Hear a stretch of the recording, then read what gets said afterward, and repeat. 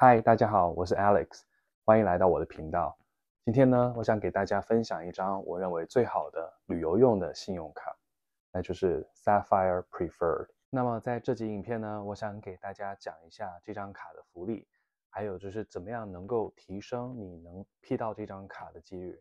那首先呢，我想先跟大家讲这张卡的开卡奖励。那今天是五月五号，二零二三年。那它目前的优惠呢，我觉得是非常好的，就是只要你能在头三个月内，呃，消费满四千块钱，那你就可以拿到八万点的奖励。那么八万点是个什么概念呢？就是八万点，如果你转换为现金的话呢，是八百块钱。但是 Chase Sapphire Prefer 这张卡又有另外一个好处。就是说，如果你能够把八万点留下来以后作为旅游用途，但是你就是要经过它的 Chase Ultimate Rewards Page 去订你的，比如说机票或酒店。那当你这样做的时候呢，你的点数会提升百分之二十五，也就是说你的八万点会相当于一千块美金的机票或酒店。那我个人觉得，就单单这个原因，你就应该去申请这张卡，因为只要你刷四千块就能拿到一千块钱价值的机票，Why not？那么这张卡唯一的坏处呢，就是有一个年费，呃，它的年费是九十五块钱，呃，但是我觉得它的本身还是一个可以长期持有的一张旅游用的卡，呃，因为呢，它不止这个开卡的奖励非常高之外，它还有平时你刷卡用的返现。那接下来呢，我想讲一下，就是它这张卡平时你在刷的时候能够得到的返现。呃，我觉得它现在这张卡已经比之前的好很多了。它现在的返现呢，你能在这里能看得到。好，第一，呃，它有一个五十块钱的 Annual Travel Credit，就是你假如说你今年五月五号申请的卡，到明年五月五号，你有一个五十块钱的 Travel Credit 可以使用。啊，那你怎么样用呢？就是你要经由 Chase Ultimate Rewards Page，然后去上面订酒店，然后订完之后呢，你就它会自动打进你的信用卡账单上面一个五十块钱的 credit。那你这么想的话，其实它的年费只有四十五块，因为它的年费是九十五块，没错。但是它每年又给你个五十块钱的 travel credit，所以我觉得这样也蛮好的，因为每天上班也很枯燥，它会提醒我去旅游。其实我觉得只要你每年能够旅游个一两次的话，这张卡的年费都是划算的。好，那接下来呢，我想讲一下它的返现。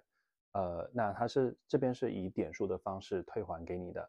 那我这边用一点就是作为一个 percent。好，那首先呢，在所有东西呢，你都可以拿到一个点，只要你刷这张卡，任何东西都是一个 percent。那第二呢，它是在所有跟旅游相关的消费会给你百分之二或者是两倍的点数。呃，比如说停车费。或者是呃买机票订酒店，那 Expedia 或者是在 Airbnb 上面都可以得到两倍的点数。好，第三呢有分好几种，呃，就是第一个是 Dining and Restaurant，就是你平时出去外面吃饭的话，都可以拿到百分之三的现金返还，还包括了就是 Uber Eats 或 DoorDash 在上面订餐的话都有百分之三。加上 online grocery purchase，就是你在网上买菜，比如说用 Instacart 的话，也可以拿到百分之三。啊，在接下来有一个 select streaming service，那就是看 Netflix，你就每个月的订购都有百分之三的现金返还。好，那最后一个的话呢，就是如果你经由 Chase Ultimate Rewards Page 去订，比如说机票或酒店的话，你可以拿到五倍的点数，也就是五个 percent。好，我知道有些人可能不太熟悉这个 Chase Ultimate Rewards Page 到底好不好用。啊，我个人觉得用起来是非常好用的。那首先你可以订到国外的机票，还有就是美国境内的机票跟酒店都可以订。然后它的价钱呢，跟在 Expedia 上面订，我觉得是差不多的。呃，甚至有时候你还可以订到更便宜的价钱。哦，最后忘了提到一点，就是你他每年会多给你一个百分之十的 Anniversary Boost。呃，也就是每年他会按照你的消费总金额来多给你一个百分之十的那个点数啊。比如说你今年总共消费了两万五千块钱，他会多给你一个两千五百点的点数。然后我想另外提一下，如果你是一个经常旅游的人的话呢，我会建议你去办 Sapphire Reserve，就是这张卡的升级版。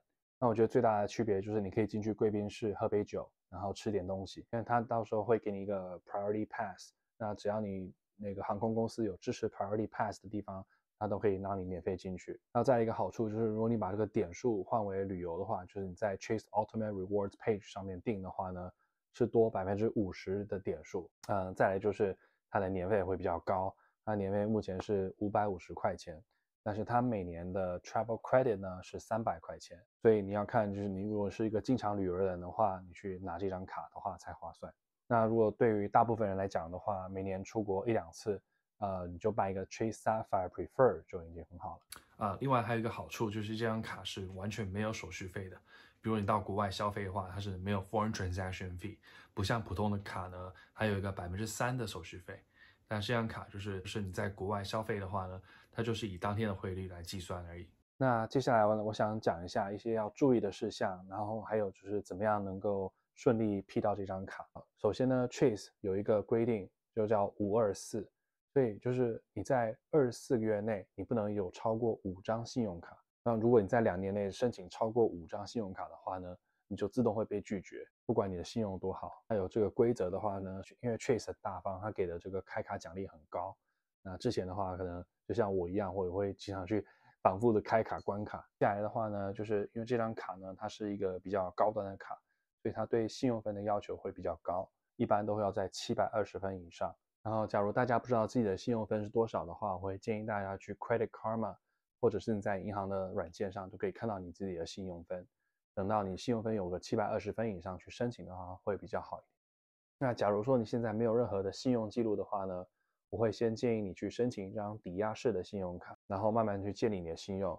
那大概需要用到六个月到一年的时间，你才能慢慢累积你的信用分数。然后呢，你去申请一个不需要抵押式的信用卡，然后再用六个月到一年的时间。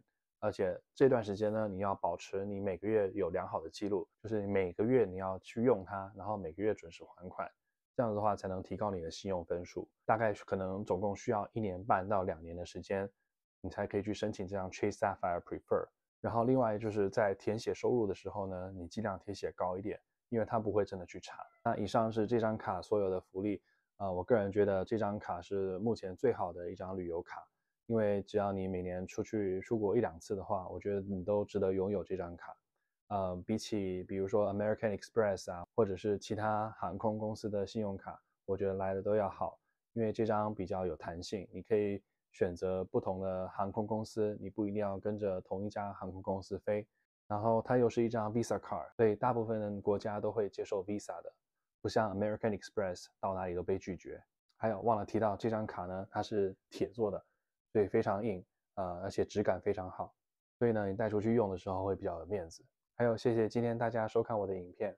那之后呢，我想多分享一些其他的信用卡，还有关于贷款跟金融方面的影片。还有，我会把信用卡的申请链接放在下面，大家如果可以的话，就点那个去申请，因为这样子我可以拿到一点反馈。那同样的呢，如果你去介绍朋友的话，你也可以拿到返现。好，谢谢大家收看，下次再见啦，拜拜。